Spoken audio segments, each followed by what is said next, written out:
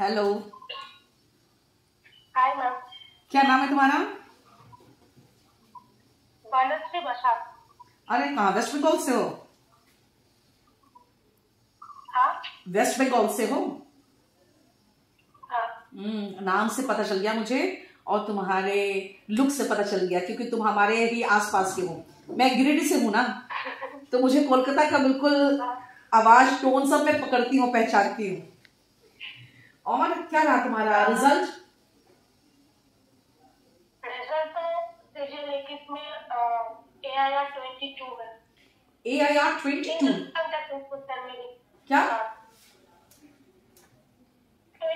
Rank है अरे वाह! और तो ट्वेंटी टू रहा तुम इतना रोके क्यों बोलती हो? क्या नाम है? पूरा फिर से बताओ।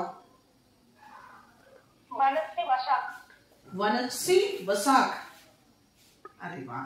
तुम्हारा तो नाम बहुत ही एक्सेप्शनल नाम है। A I R twenty two हो। तुम समझ रही हो तुमने क्या किया है? हाँ थोड़ा थोड़ा। और क्या तुम्हारा? कौन सा पोस्ट है? है इनकम टैक्स इंस्पेक्टर वाह बहुत स्मार्ट लगोगी इनकम टैक्स इंस्पेक्टर के रूप में। और तुम्हारी एज कितनी हाँ। हुई? ट्वेंटी फाइव हुई फरवरी में। ओके तो तुम क्या मतलब घर में ही बैठ के पढ़ी हो? पूरा कंप्लीट तैयारी घर में की हो? हाँ यूट्यूब ऑनलाइन ये इन सब के सहारे से पढ़ा हूँ। कुछ ऑफलाइन बैच नहीं लिया। अच्छा तो मेरे से कैसे पढ़ी ये बताओ? आपके जो बुक है ना हम्म। उसको मैंने बार बार रिवाइज की थी। ओके। मेरे हस्बैंड तो इंग्लिश के हैं तो उन्होंने मुझे बेसिक करवाया था। ओके।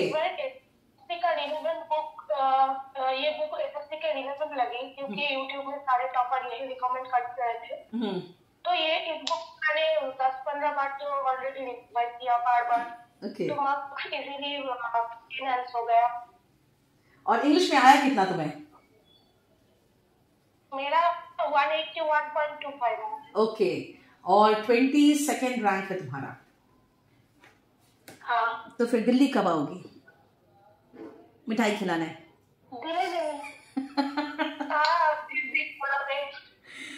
तुमने अपना क्या डाला? प्रेफरेंस सॉरी मुझे मैंने आईटीआई ही डाला है. इनकम टैक्स इंस्पेक्टर ही डाले थे।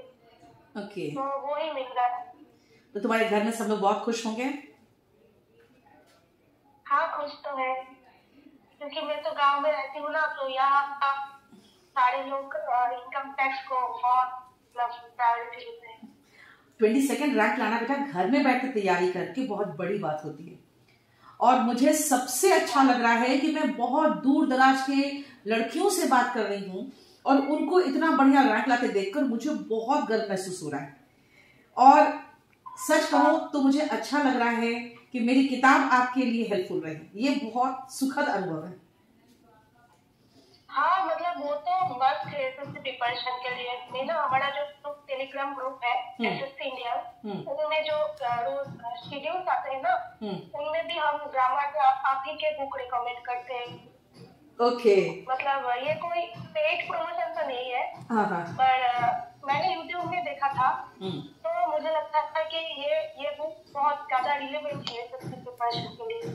तो मैंने तो ग्रामर के लिए बस इसको ही बार बार रिवाइज किया। दस पंद्रह बार तो मिनिमम हो ही चुका है। ओके चलो थैंक यू सो मच देखो बेटा, तुम लोग प्रिपरेशन खुद करती हो। बस इतना भी खाली कह देती हो ना कि मैम आपके बुक से पढ़ा है। तो मुझे लगता है जैसे मेरी ज़िंदगी सार्थक हो गई।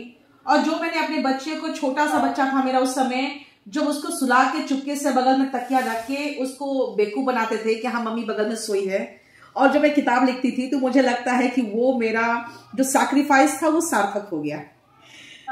तुम एक महिला हो। है। हाँ। तो वो समझ सकती हो तुम। लिखा हुआ है ना? हाँ शुरू की लाइन में मैंने लिखा है। मैंने भी पढ़ा था। हाँ। Dedicated to my beloved son whose time I stole to write the swan तो मैंने उसका ही तो समय चुराया था। तो बेटा बहुत अच्छा लगा खुश रहो।